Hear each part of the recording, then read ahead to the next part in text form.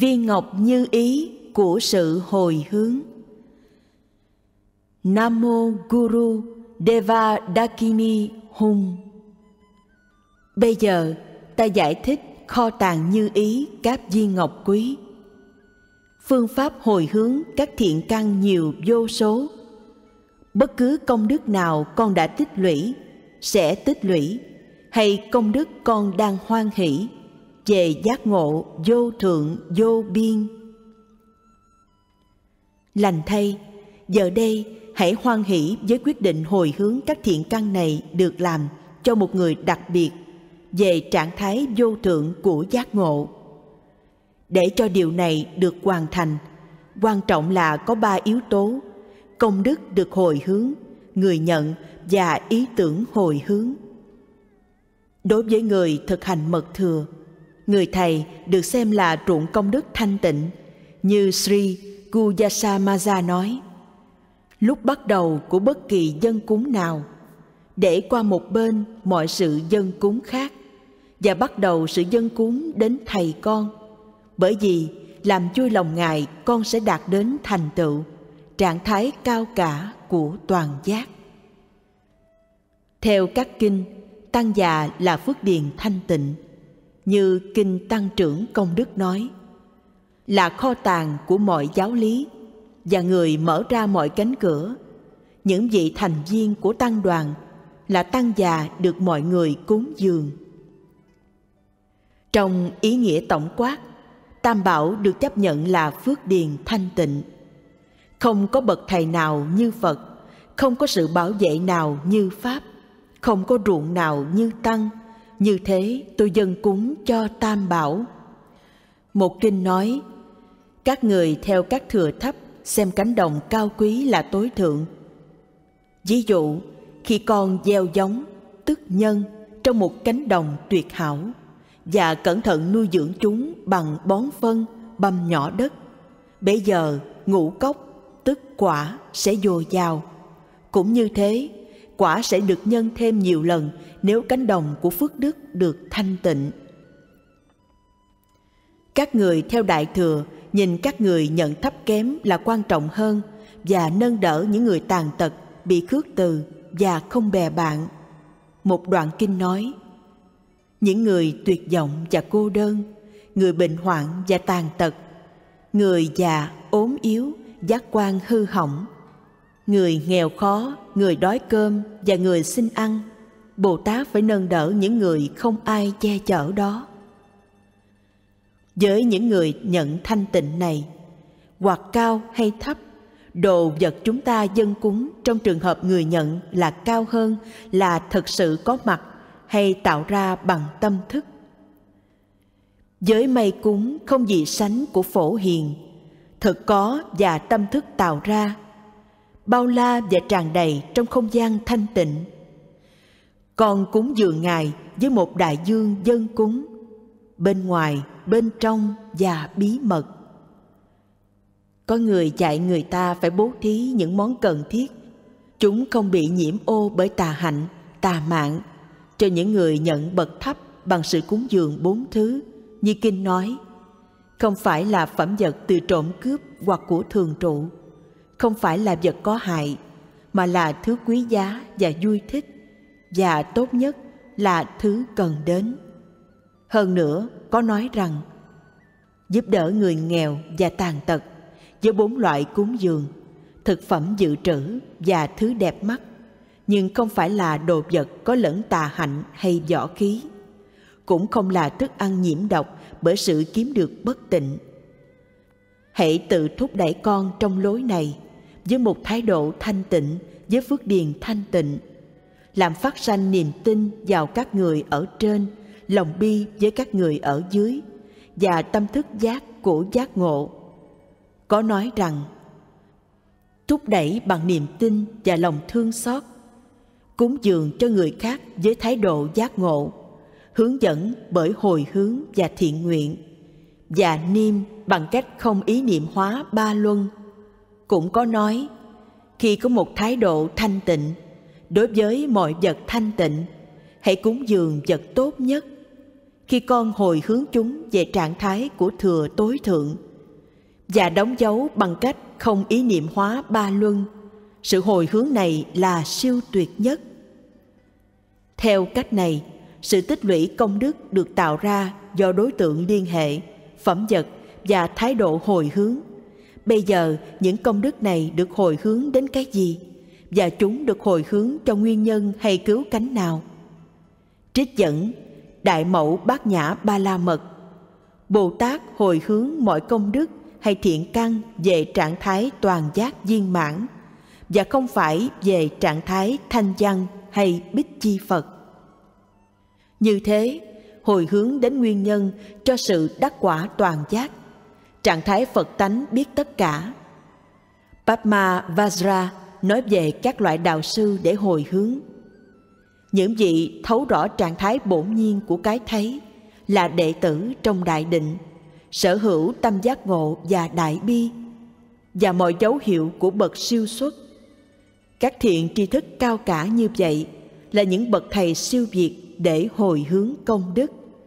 Tốt nhất là khi đã gặp một vị thầy như thế nếu không, có nói rằng, với người nào có đức tin và quyết tâm tối thượng, phật sẽ đích thân hiện diện. Và vào đúng thời gian, như khi trăng non, trăng tròn và ngày mùng tám, hãy hồi hướng thiện căn trong sự hiện diện của tam bảo. Có thể hồi hướng trước bàn thờ tam bảo. Tiếp theo, sự hồi hướng được dành cho ai? Chớ hồi hướng cho một người nhất định nhưng cho tất cả chúng sanh, mà hầu hết là những người đại loại, như có nói, trực tiếp và cũng gián tiếp, chỉ làm vì lợi ích của chúng sanh, cho tất cả hữu tình con phải hồi hướng mọi công đức cho sự giác ngộ của họ. Với một người còn sống, chỉ đơn giản dùng tên, với người đã chết, hãy dùng đại loại. Khi hồi hướng cho tất cả chúng sanh mà đầu hết là một người cụ thể. Hãy chỉ cho người ấy bằng cách nói rằng, giữ cho thân tâm bạn thành kính. Chắp tay lại và tưởng tượng rằng, trong bầu trời trước mặt bạn, vị thầy chính của bạn đang ngồi và bậc điều ngự siêu việt, bậc chiến thắng.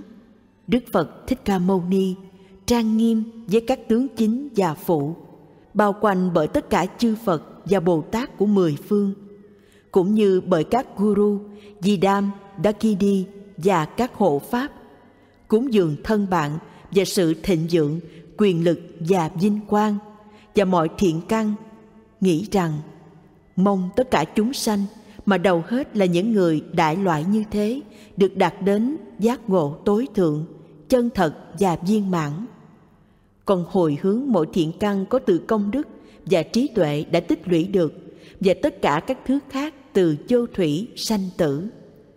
Với một giọng tôn kính, lặp lại các hồi hướng.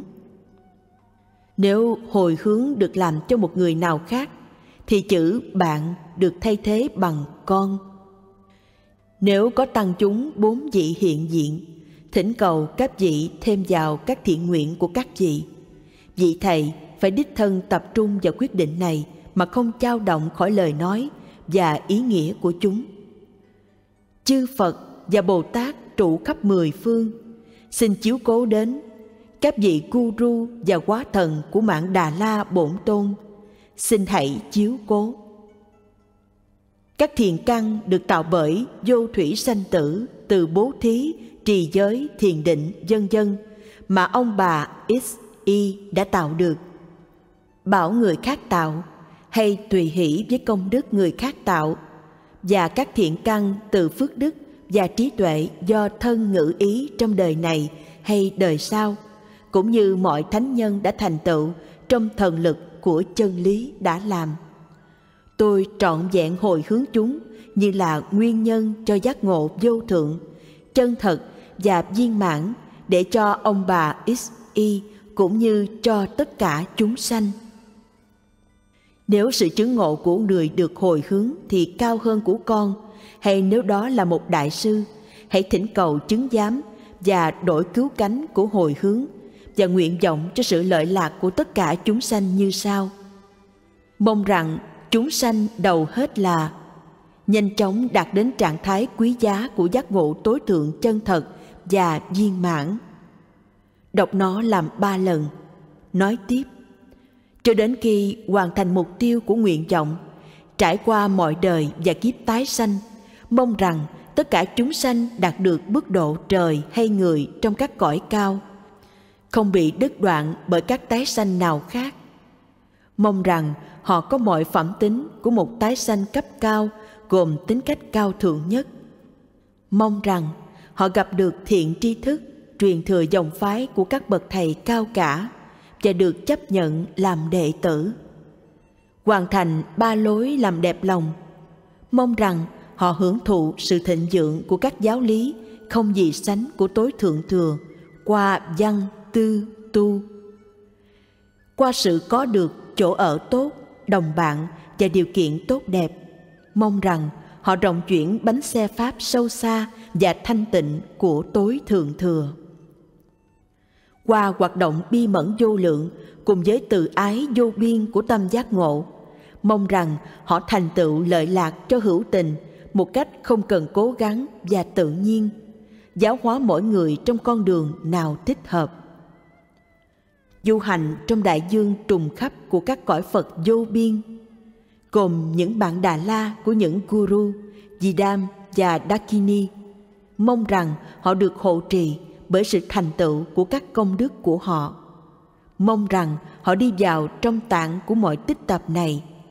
Mong rằng họ đi theo dấu chân của các ngài mong rằng họ đồng đẳng với chư phật trong chứng ngộ, đại bi, công đức và hoạt động trên con đường thực hiện điều này, mong rằng mọi yếu tố xấu xa và đối nghịch như là khó khăn, chướng ngại, phóng vật, lười biếng tà hạnh và lỗi lầm đều lặng mất mong rằng họ có được những hoàn cảnh tuyệt hảo và dồi dào các phẩm tính an vui và hạnh phúc như sống lâu, sức khỏe, hình dáng đẹp đẽ, niềm tin sâu xa, trí óc nhạy bén, đại bi, sinh lực mạnh mẽ, thịnh vượng, vui vẻ bố thí, các thể nguyện Samaya thanh tịnh, giới luật hoàn hảo, dân chân. Nếu sự hồi hướng và nguyện vọng được làm cho một người quá cố, đến lúc này hãy cử hành lễ nghi tịnh trừ chướng ám. Nếu nó để dành cho một người sống thì nói một nguyện vọng tích hợp nào khác như sau đây. Trong đời này, mong rằng họ được trường thọ, sức khỏe tốt, sung túc và tốt đẹp. Mong rằng mọi bệnh tật và ảnh hưởng xấu, ác hạnh và che chướng, vi phạm, lỗi lầm và bất hạnh. Các chướng ngại bên ngoài và bên trong của chúng, mọi năng lực xấu và bất hòa đều được yên tịnh. Mong rằng họ an trụ trong Pháp với tư tưởng, lời nói và hành vi. Và khi hơn thưởng những lời không tỳ vết của các bậc điều ngự mong rằng mọi ước mong của họ được viên thành như họ đã có viên ngọc như ý. Vào lúc chết mong rằng họ không phải chịu đựng sự đau khổ do sinh lực bị đứt đoạn, mà mọi trạng thái ý niệm của phiền não đều lắng dịu, và họ nhớ lại vị guru và tam bảo một cách hoan hỷ và thích thú. Mong rằng họ hoàn toàn được che chở bởi tâm trí tuệ cùng với đại bi của tất cả các bậc thánh. Các vị là đối tượng tối cao cho sự quy y. Mong rằng họ hoàn toàn không phải chịu đựng sự sợ hãi và khủng khiếp của trung ấm và mong rằng một cánh cửa vào các cảnh giới thấp đều được đóng lại. Như là cái tối hậu, mong rằng họ sớm đạt đến trạng thái quý giá của giác ngộ vô thượng, chân thật và viên mãn. Với sự ban phước của ba thân giác ngộ của phật, với sự ban phước của chân lý bất biến của pháp tánh, với sự ban phước của guru di đam và dakini mong rằng sự hồi hướng của con được thành tựu mong rằng mọi mong muốn của con thành hiện thực nói vậy xong, chấm dứt bằng cách đóng dấu ấn niêm phong với sự thanh tịnh ba luân của vô niệm. Có công đức vô biên khi niêm ấn với sự hồi hướng quý giá trong cách này và phát lên những lời nguyện toàn hảo. Kinh thỉnh cầu bởi trí bất đoạn nói như một giọt nước rơi vào đại dương sẽ không khô mất cho đến khi nào đại dương khô cạn. Cũng cách ấy, công đức hồi hướng trọn vẹn đến giác ngộ sẽ không tan biến trước khi đạt đến giác ngộ. Kinh cũng nói rằng trong sự hiện diện của Tam Bảo, hóa thần, thầy con hay tương tự, với niềm tin gom góp các sự tích tập và phát những nguyện vọng rộng lớn như thế, công đức ấy không thể nghĩ bàn. Đã gom góp các sự tích lũy công đức và trí tuệ, các khuyết điểm và sự không niêm dấu ấn với sự hồi hướng quý báu được diễn tả như là bốn nguyên nhân của sự khô kiệt. Sau khi tạo được một thiện căn mà không hồi hướng, hồi hướng sai lầm, khoe khoang nó với người khác hay cảm thấy hối tiếc, đó là bốn nguyên nhân làm khô kiệt. Bởi thế, cần yếu hồi hướng theo cách sau. Tưởng tượng rằng những tia sáng rực rỡ phóng ra từ trung tâm trái tim của Phật và chạm đến thân, ngữ, ý của những chúng sanh được hồi hướng cho. Để sạch hoàn toàn các ác nghiệp, che ám tội lỗi của họ. Họ trở thành những khối cầu ánh sáng chúng tan vào trung tâm trái tim của Phật. Phật và thánh chúng tan biến vào hư không nền tảng như một cầu vồng tan giữa bầu trời. Ấn niêm như thế bằng cách không ý niệm hóa ba luân trở thành sự hồi hướng chân thật và tối thượng như Đức Di Lặc đã nói. Sự hồi hướng phi thường tròn đủ, cái cao trội nhất để cử hành là thái độ tự do khỏi sự trụ vào danh tướng, tức là không có vô minh. Ngài nói thêm, hơn nữa, sự hồi hướng vô thượng là hiểu biết thấu triệt rằng không có bản tính thực. Trong công đức được tạo ra, trong quả của nó, trong người được hồi hướng hay trong hành động hồi hướng. Bởi thế, hãy chôn cất mọi công đức được tạo ra trong một định hướng đặc biệt như một kho tàng vô tận và hoàn thành nó bằng cách ấn nghiêm nó với sự hồi hướng của đại thừa. Rồi hãy tôn kính khi tùy hỷ niềm vui và sự biết ơn chân thành. Đây là con đường được dạy samaya. Nói một cách căn bản, khi muốn làm một sự hồi hướng, có ba điểm tổng quát. Sự hồi hướng bảo vệ toàn vẹn món quà công đức của người trao cho. Sự hồi hướng sau khi thực hành đặc biệt của mật thừa hay sau khi chuyển bánh xe pháp thâm sâu và sự hồi hướng hoàn thành sự tích lũy công đức ở trong hư không nền tảng của tánh giác bổn nguyên. Cái thứ nhất xảy ra tức thời sau khi người trao cho ban tặng vật phẩm. Hay ngay sau khi tùy hỷ nó, hãy lặp lại ba lần lời nguyện sau hay một lời nguyện khác thích hợp. Đảnh lễ tất cả chư phật và bồ tát mười phương, xin hãy chiếu cố đến người hồi hướng này các đạo sư và tăng chúng thanh tịnh, xin hãy chiếu cố. Như thiện căn này biểu lộ, mong rằng bất cứ công đức nào người trao cho tạo được trong suốt ba thời, được hồi hướng về sự tăng trưởng rộng rãi của quả vô tận. Mong rằng giác ngộ vô thượng sẽ nhanh chóng đạt được. Cái thứ hai xảy ra vào lúc kết thúc của bất cứ sự nghiên cứu chỉ dạy và thiền định bên ngoài hay bên trong nào hay bất cứ cái nào của mười hoạt động tâm linh hồi hướng theo cách sau đảnh lễ chư Phật và Bồ Tát mười phương, các Guru, Di Đam, Dakini và Quá Thần Mạng Đà La cùng với những hộ pháp của các ngài, xin hãy chiếu cố đến con.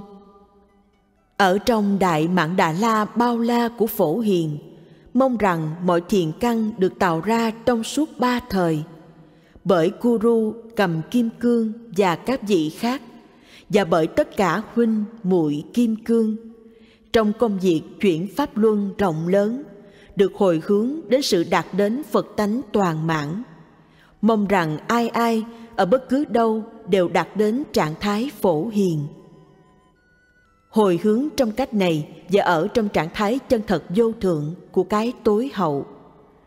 Cái thứ ba xảy ra lúc kết thúc của bất cứ cái gì con muốn hồi hướng và bất cứ lúc nào con hồi hướng hay vào lúc chấm dứt của bất kỳ loại hoạt động nào. Hãy làm sự hồi hướng này từ trong trạng thái của đại ấn. Các bậc điều ngự và đệ tử trong mười phương xin hãy chiếu cố mong rằng bất cứ công đức nào được tạo ra bởi tư tưởng, lời nói và hành vi.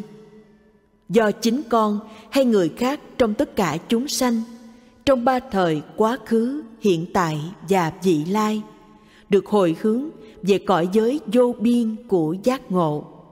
Mong rằng quả tối cao của bản tánh vô thượng được đạt đến. Lúc bắt đầu của bất kỳ loại hồi hướng nào hãy quán tưởng, tam bảo ở trước mặt con như sự chứng giám. Tưởng tượng rằng, các vị chấp nhận con với các lời hồi hướng và nguyện lành. Tiếp theo, nói lên các lời hồi hướng trong khi ấn niêm bằng vô niệm cái con đang hồi hướng và các đối tượng của sự hồi hướng, công đức và người tạo của việc hồi hướng. Vào lúc cuối, an trụ trong trạng thái siêu việt khỏi lời nói, tư tưởng và diễn tả.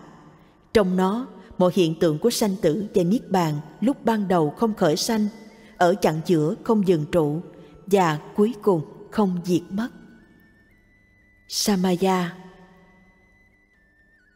các phương tiện thiện xảo này để đưa thiện căn công đức đến chỗ hoàn hảo là các lời dạy truyền miệng về hồi hướng, có tên là viên ngọc như ý của hồi hướng, được vị Vidyadhara Bhama Sambhava ban cho. Tôi, Sogya, viết lại chúng trong hình thức ghi chú và cất giấu chúng như là kho tàng bí mật tơ ma. Nguyện rằng chúng gặp được người xứng đáng tiền định. Dấu ấn cất giấu, dấu ấn trao truyền, dấu ấn kho tàng. Samaya Datim Sách này được khám phá từ động lớn ở Buri do tôi, Sanje Doje, tức Sanje Linpa, một tín đồ khất thực của Đức Thích Ca Mâu Ni.